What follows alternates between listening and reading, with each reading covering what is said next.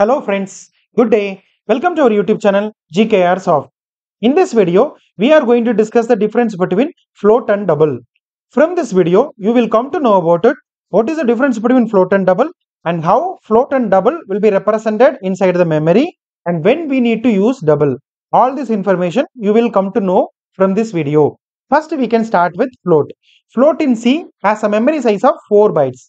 It's equal to 32 bits because 1 byte is equal to 8 bits. The float is a single precision 32 bit floating point and it is used to store decimal numbers and it can store decimal values with precision up 6 to 7 decimal places.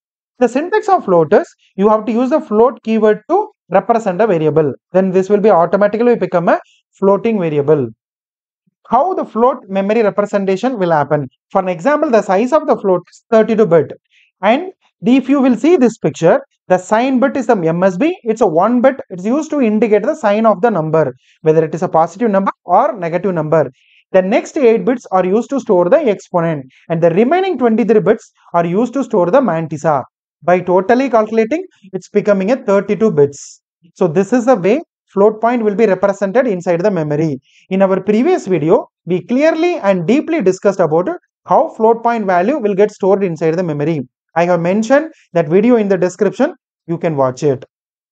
What is double and why we need a double? For an example, double in C is a data type that is used to store high precision floating point data because we cannot store the maximum range values in the float. The reason is because of the decimal uh, precision decimal values. So here we have up to 15 to 17 digits. So it is used to store large values of decimal numbers and any variable declared using a double data type in C size is 8 bytes. It's equal to 64 bits. The syntax is when you want to create a double value, then you have to use a keyword called double. The double, then you can use your variable name how to print the double value in C. So the, you have to use the format specifier called percentage %lf. So here I have written a short C code to understand what is the size of double and how we can represent the double number. For an example, here I have created a double variable for an example by using a double data type, double data, then I have assigned the value of 38.7. So when you are seeing the size of data, it's equal to 8 bytes. And when you want to print the double data with the per format identifier, identifier percentage %lf, then this is the way you will get a output. So you all knows that the size of double is 8 bytes and it can store values up to 15 decimal points without loss of precision and range of double is 1.7e minus 308, 1.7e plus 308 and the format specifier for double is percentage %lf. And how the double memory will be represented inside the memory. So, for an example, the size of double you all knows is 64 bit is equal to 8 bytes. And today the modern compilers use IEEE 754, 754 standard to store the double and float value. Here the same is equal to float. The MSB sign indicates 1 bit to represent whether it's a positive or negative number.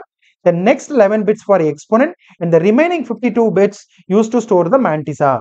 Then finally it will become a 64 bits. So this is the way double values will get stored inside the memory.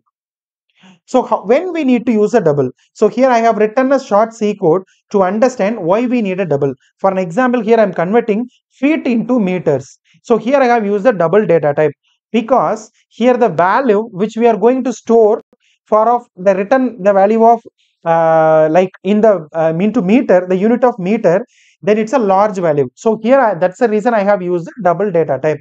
For an example, here I have declared the feet input 89 and I have another variable, double variable called meter value. So this is the output value. That means output variable. I'm calling a function of feet to meter and I'm passing the feet input value. So here for converting feet into meter, we have to divide with the 3.28. So when we are dividing with 3.28, then we are storing inside the double data type.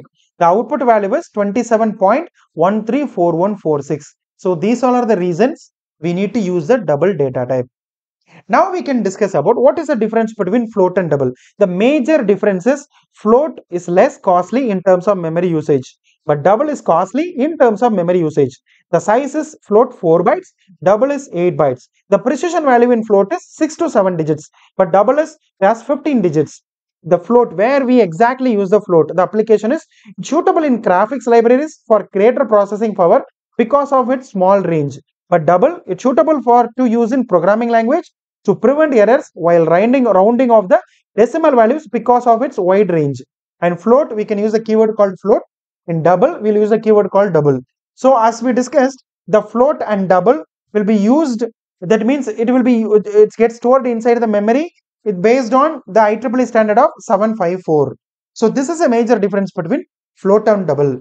I hope you got an idea how the float and double the difference between float and double how float and double will be represented inside the memory. Thanks for watching this video. If you like it please share it with your friends. If you want to stay with us for more technical content then please subscribe our channel. Thank you so much. Have a nice day